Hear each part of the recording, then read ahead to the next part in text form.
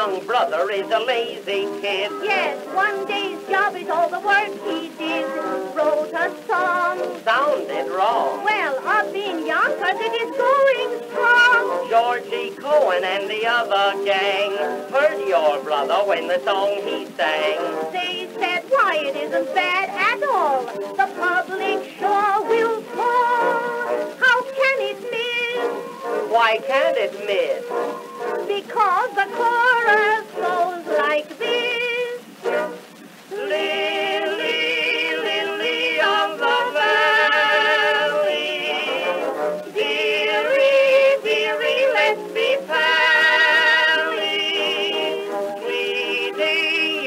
the nicest flower of the lot. Be my lily, oh, be my lily, I'll be your forget-me-not.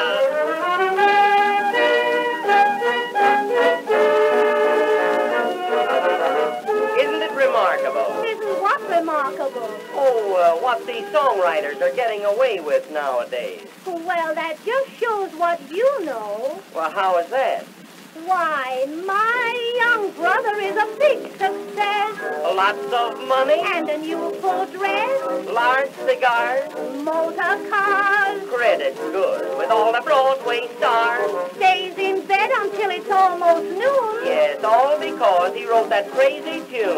On the merry, merry, gay white way, you hear the people say, You must admit, Yes, yes. you must admit.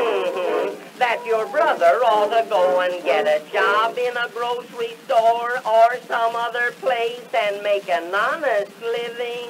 Is that so? Yes, instead of writing stuff like Lily, Lily of the Valley.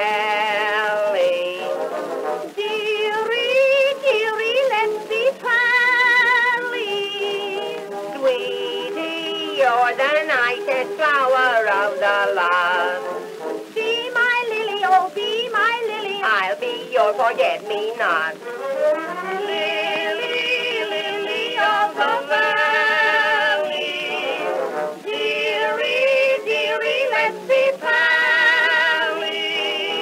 Sweetie, you're the nicest flower of the lot.